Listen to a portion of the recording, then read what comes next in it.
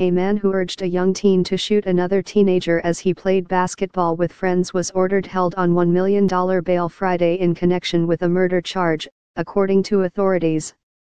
Desmond Jones, 20, is charged with murder in the August 22 death of Irving Estrada, 17, as Estrada played basketball with friends in the 1600 block of South 56 TH Court, two blocks north of where police say Jones lives. Maybrook District Court Judge Gregory Paul Vasquez ordered Jones held in lieu of $1 million bail in hearing Friday afternoon, according to court records. Cicero police arrested Jones on Thursday, according to Cicero spokesman Ray Hanania.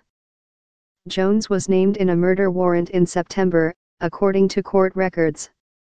He was charged after being arrested in an unrelated matter this week, but another young teen is still sought in the killing, authorities said. Estrada and his friends were playing basketball in Warren Park, 1600 S. 56 TH Court about 8 p.m., when a man came up on his bicycle and asked them if they wanted any loud, a term for a particular strain of marijuana that's also used as slang for the drug said Tandra Simonton, a spokeswoman for the Cook County State's Attorney's Office. The teen and his friends declined, and the man rode off. About 10 to 15 minutes later, the man who turned out to be Jones returned, with a boy who appeared to be about 14 years old, prosecutors said.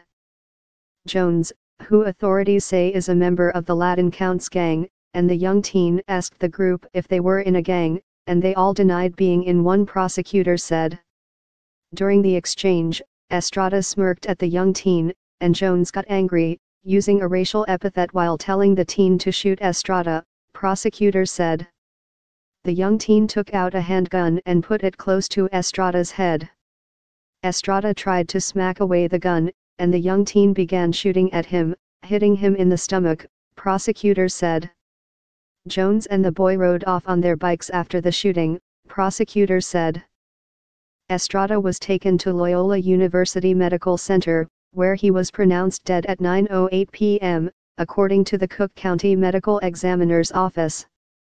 Estrada lived in the 3700 block of South 61st Court in Cicero, less than three miles from where he was shot, according to the Cook County Medical Examiner's Office.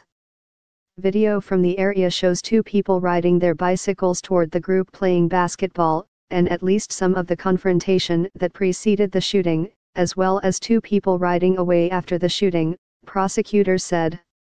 Witnesses described the attackers to police as people who lived in the neighborhood and identified Jones as the man who told the teen to shoot Jones. The murder warrant for Jones' arrest was issued September 11, according to court records.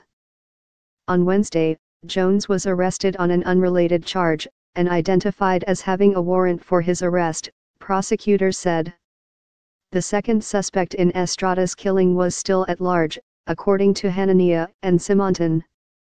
A 17-year-old boy was fatally shot late Tuesday while playing basketball in suburban Cicero, according to officials. Irving Estrada was in the 1600 block of South 56th Court about 8 p.m.